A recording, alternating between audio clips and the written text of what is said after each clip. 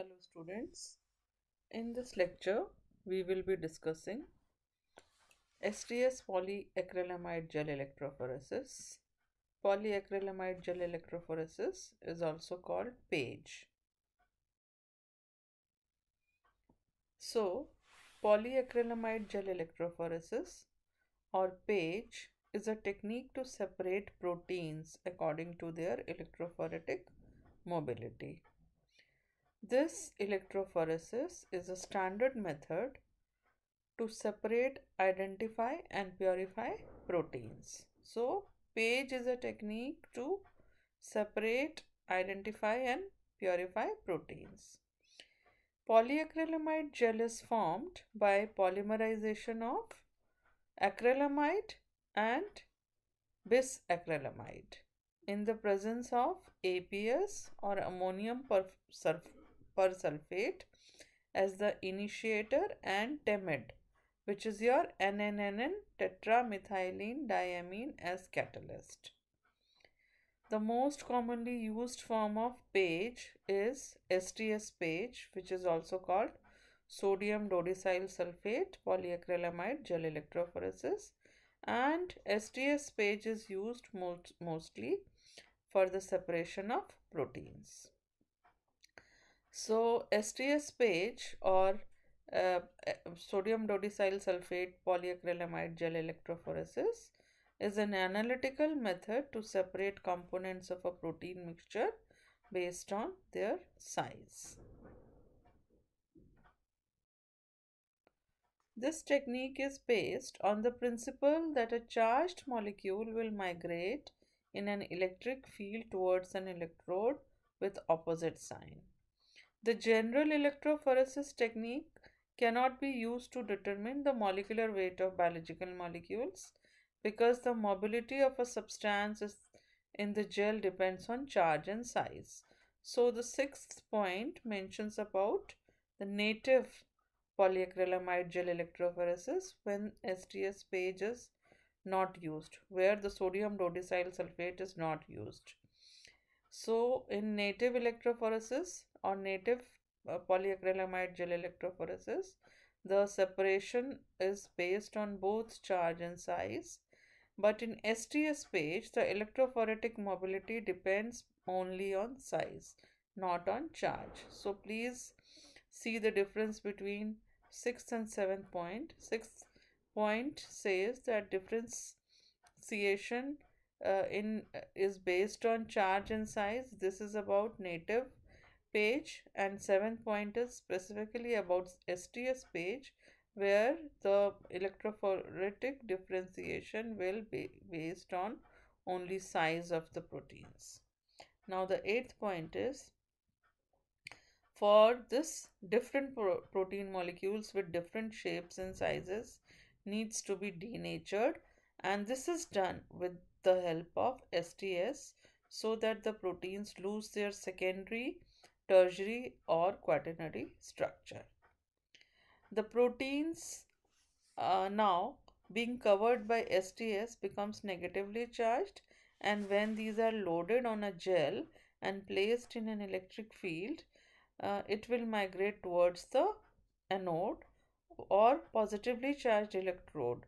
So the separation will be based only on size because all the proteins will have negative charge so all the proteins will move towards positive charge in SDS PAGE and that is why charge gets nullified. All are negatively charged and they will be moving to the positive electrode. That is why the charge uh, the difference will be based on only uh, size and not the charge. Now the 10th point is after the vis visualization this by staining technique, the size of protein can be calculated by comparing its migration distance with the known with uh, uh, with that of a known molecular weight ladder or marker. So we know the uh, size of the unknown protein with the help of molecular markers which are loaded on the gel. Now what are the requirements of this technique?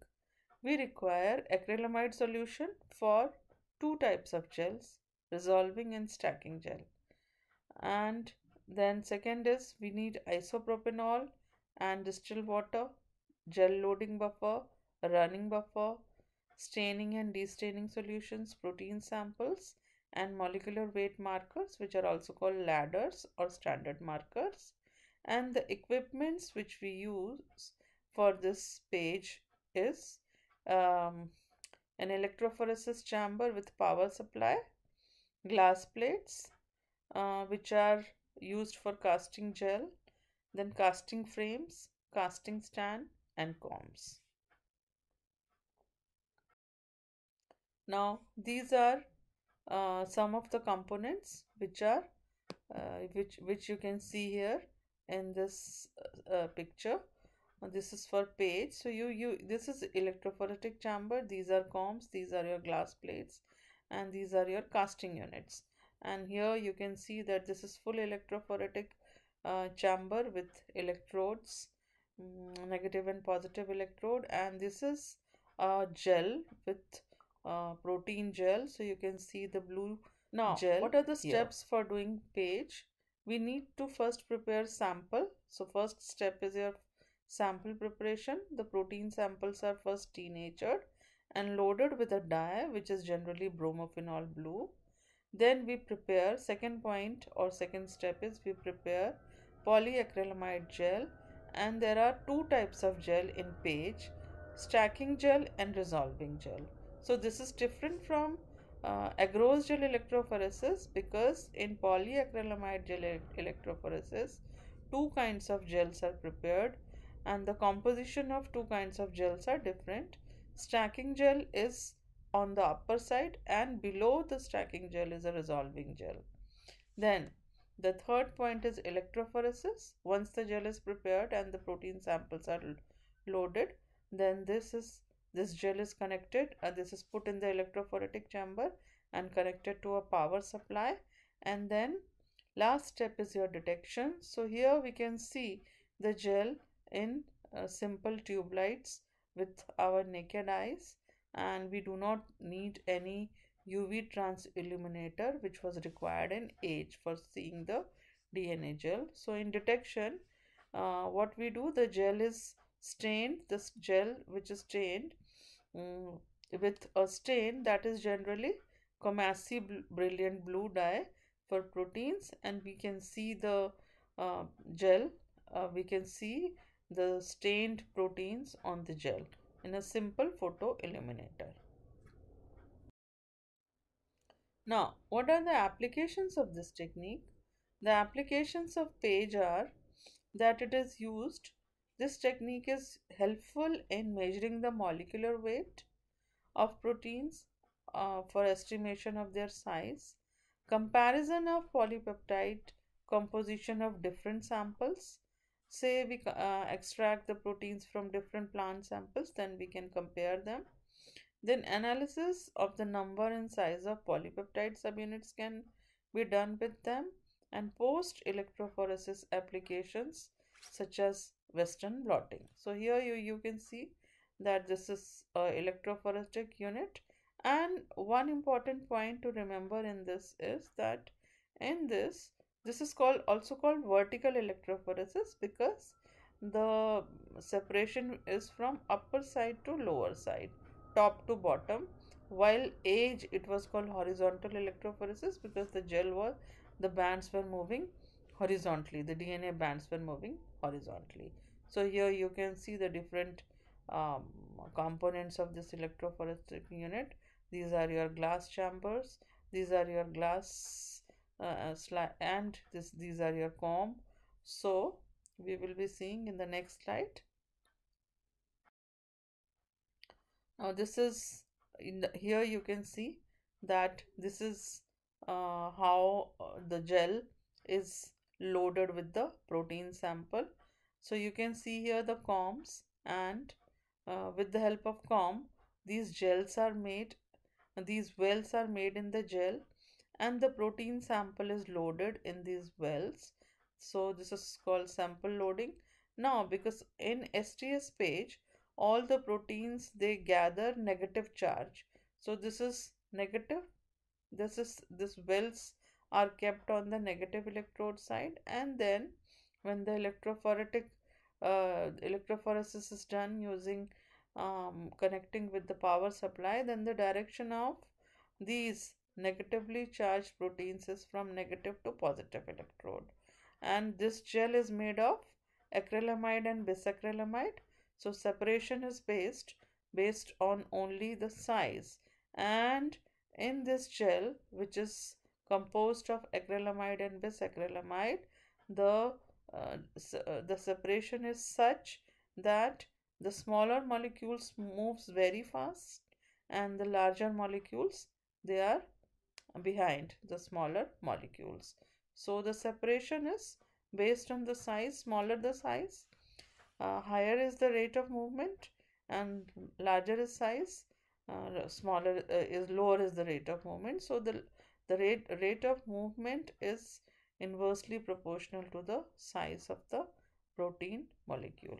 And so on uh, here you can see that this electrophore in the uh, in this picture you can see that this electrophoretic chamber is connected with the power supply.